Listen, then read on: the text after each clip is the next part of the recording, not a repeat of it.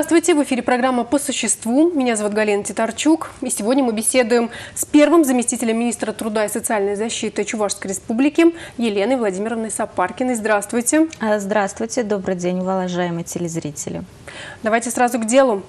А, и нас сегодня волнуют вот такие вот вопросы. А, какие назначения и выплаты денежной компенсации части затрат на проезд отдельным категориям граждан Чувашской республике предусмотрены в этом, в 2017 году? А, с 1 января 2017 года у нас изменилась форма мер соцподдержки по оплате проездных билетов э, или компенсации за проезд. Напомню предысторию, что у нас с 2006 года произошла монетизация льгот. Если раньше льгот льготы предоставлялись в натуральном виде, то с 2006 года региональные выплаты стали предоставляться льготы в денежном выражении, в том числе и льготы на проезд. При этом а, решением правительства республики было принято льготный проездной билет, так скажем, когда гражданин оплачивал определенную стоимость, в 2016 году это было 600 рублей, и а, пользовался неограниченным количеством поездок на всех видах общественного транспорта, троллейбусы, автобусы и пригородные автобусы.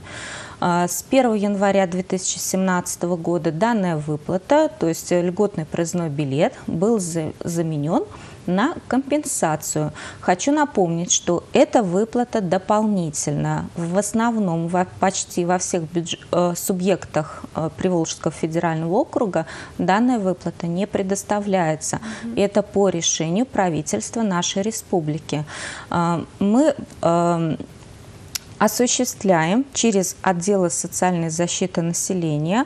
Начиная с апреля месяца будет осуществляться компенсация за приобретенные проездные билеты на автобус, троллейбус, либо пригородные автобусы. При этом хочется отметить, вот сравнить, допустим, гражданин у нас э, ранее выплач... оплачивал 600 рублей. Ездил он на автобусах или троллейбусах. Компенсация из бюджета предоставлялась независимо от того, на каких видах транспорта гражданин проездил, угу. на все виды транспорта. Угу. В текущем году а, гражданин приобретает проездной билет. Допустим, на автобус он стоит у нас 750 э, рублей, на троллейбус 700 рублей. И э, компенсация составит, соответственно, на автобус 150 рублей в месяц, на троллейбус – 140 рублей в месяц. И расходы граждан, гражданина э, на приобретение проездного билета по факту получается, что он угу. на приобретение проездного на троллейбус потратит 560 рублей, а на автобус 600 рублей. То есть фактически гражданин э, не потерял ничего, угу. просто изменилась форма предоставления мер соцподдержки. Во-первых, э, при приобретении проездного билета он этот проездной билет должен сохранить, если это проездной билет напечатанный типографским угу. способом, а, и предъявить данный проездной билет вместе с заявлением в отдел социальной защиты населения э, по месту жительства для получения компенсации. Если этот э, проездной электронный, ну, когда карточкой оплачиваете в, в, в транспорте, в этом случае у нас э, заключается соглашение с единой транспортной компанией, которая будет нам предоставлять сведения о тех льготниках, которые купили вот такой вот mm-hmm. электронный проездной, и мы уже на основании этих сведений будем возмещать компенсацию гражданам. А, как правило, у данной категории граждан имеются другие выплаты, поэтому сведения о лицевых счетах, э, которые они открыли в банках, куда им предоста... Э, идут перечисления других выплат, у нас имеются, поэтому сложности с этим вопросом не возникнет. Ну, по-моему, все предельно понятно. Я думаю, что зрители наши разберутся, и мы хотим перейти вот к такому еще вопросу о ежемесячной денежной выплате семьям, у которых рождается или который усыновляют третьего ребенка. Там вот изменился, были внесены изменения в закон Чувашской республики. Вот вы можете их прокомментировать и рассказать нам? Да, что касается ежемесячной денежной выплаты в случае рождения третьего или последующего ребенка, а здесь были внесены изменения в закон Чувашской республики. В частности, было уточнен период э, в отношении детей, за рождение которых предоставляется данная выплата.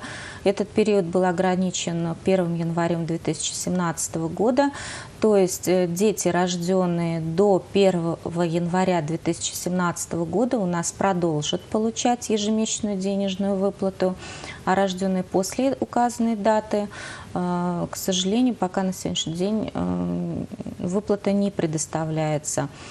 Но здесь хочу отметить, угу. почему были внесены такие изменения. Данная мера социальной поддержки – это дополнительная мера в рамках исполнения указа президента Российской Федерации номер 606, в котором было сказано о том, чтобы обеспечить к 2018 году коэффициент рождаемости в среднем по Российской Федерации – а, не ниже 1,753 тысячных. У нас э, суммарный коэффициент рождаемости в Чувашской республике значительно превышает показатели средние по Российской Федерации.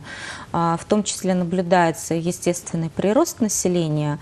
А, в связи с этим Российской Федерации на уровне правительства было принято решение о том, что в 2017 году ежемесячная денежная выплата будет софинансироваться в отношении детей, рожденных до 1 января 2017 года. Понятно. Хорошо, вот еще такой момент, в который все-таки нужно внести ясность. У нас некоторые граждане а, начинают путать вот такие вот э, отмену ежемесячной денежной mm выплаты по случаю рождения, ну или усыновления третьего ребенка, и такое понятие, как э, такая мера государственной поддержки а, для семей, которые имеют э, детей, как республиканский материнский семейный капитал.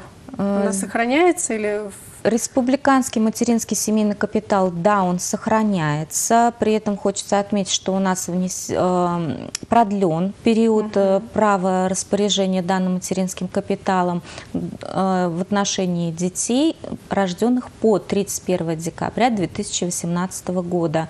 То есть э, республиканский материнский капитал – это отдельная выплата, не имеющая связи с ежемесячной денежной выплатой.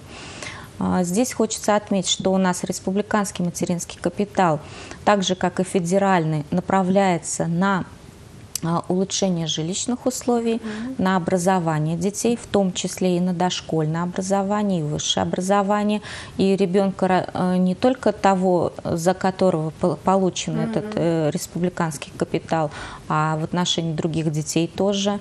И третье направление – это новое направление приобретения средств реабилитации и абилитации для социальной интеграции детей-инвалидов в общество. Ну, то есть те дополнительные средства, которые по федеральному перечню не предоставляются, такие как там дополнительные развивающие игры, а, оборудование компьютеру дополнительное, а, книги для слабовидящих детей, ну и так далее. В общем, средства, которые утверждены перечень этих средств утвержден постановлением правительства Российской Федерации. То есть обналичивать э, республиканский материнский семейный капитал также противозаконно, как и... Да, конечно, обналичивание это преследуется по закону, угу. считается мошенничеством, поэтому ни в коем случае нельзя злоупотреблять и рассчитывать на то, что это не выявится. Хочется отметить еще то, что у нас эм, с 1 января 2017 года увеличиваются размеры выплат э, детских пособий и ежемесячных денежных выплат ветеранам. Угу. По детским пособиям у нас размеры выплат для тех семей, в которых средний душевой доход не превышает прожиточный минимум, составит от 334 до 1670 рублей. Для тех семей, в которых средний душевой доход превышает прожиточный минимум от 334 до 951 рубля, и для э, опекунов, приемных родителей, патронатных воспитателей выплаты в месяц составят от 6819 до 7700 рублей. Спасибо большое, Елена Владимировна, за интересную беседу, за полноценные ответы на такие непростые вопросы. Спасибо вам, что выслушали и пригласили. И хочется сказать э, дорогим телезрителям, в случае, если возникают вопросы, вы всегда можете обратиться непосредственно в Министерство труда и социальной защиты Чувашской Республики, либо в отделы социальной защиты населения по месту вашего жительства. Я напоминаю, это была программа «По существу». Меня зовут Галина Титарчук. До встречи в эфире национального телевидения Чувашии.